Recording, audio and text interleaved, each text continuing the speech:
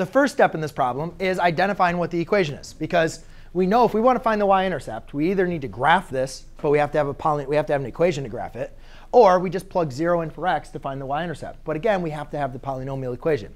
So do we have enough information to find the polynomial equation? Well, they give us the roots. They say it has to be a degree of 3. Um, so that should spark our interest. We only have two roots here. If I was to multiply those two roots and write them as factors, that would only give me a degree of 2. So yeah, because you have to have that you have to have that conjugate, right?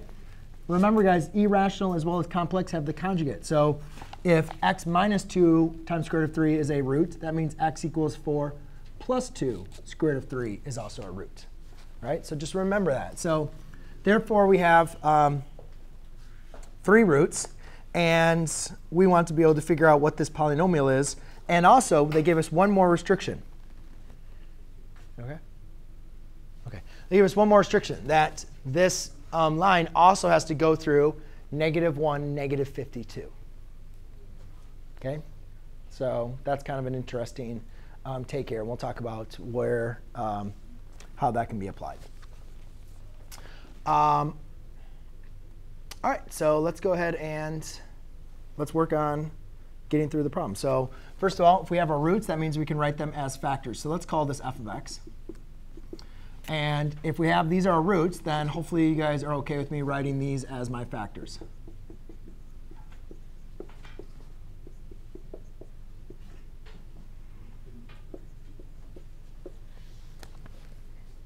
Yes? Kind of going quickly. We did some things. We are not throwing stuff at other people, but we just wrote your zeros as factors, if you guys remember.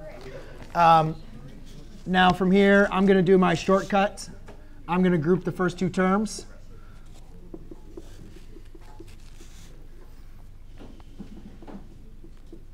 And therefore, this is going to give us 3 times 4, which would be a 12. 2 times 2 squared of 3 times 2 squared of 3 is going to be 4 times 3, which is 12.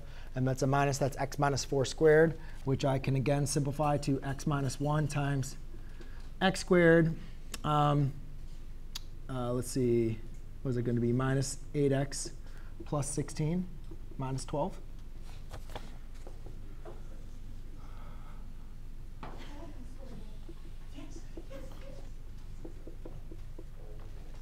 All right.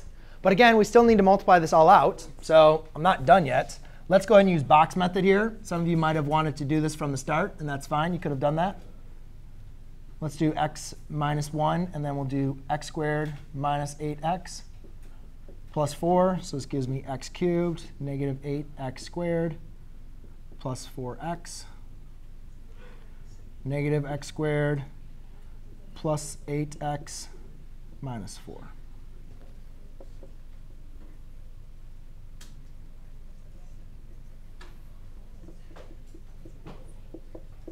All right.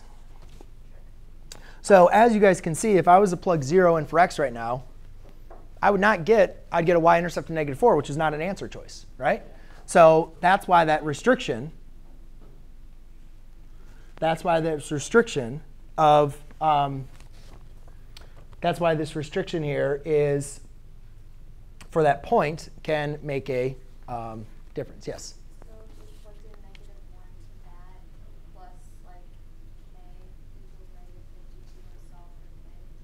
Well, we where where's k? Like, isn't there like a constant? Like, how do you know that's just the equation? I'm sorry. How do you, the equation that you started with? How do you know that's like there's not something added onto it at the end? Well, that is the equation of the zeros, right? So yeah, what we got to do is we got to think about like. So these are the zeros. The zeros make up this, right? Now, what is the one thing though that we can do to this polynomial that would impact the graph, but actually would not impact the zeros. Yeah, see, see, my thing is, all right, so here it is in factored form, right? Would that matter if there was a k there? Would that change the zeros? No. All Because think about what's k doing. k is on the outside, right? So k is vertically stretching or compressing the graph. That's not changing the zeros. You guys agree with me? So therefore, let's pretend there is this number k. We don't know what k is. So k's there, k's there. And then, you know, we could have k on the outside. So we have this k here.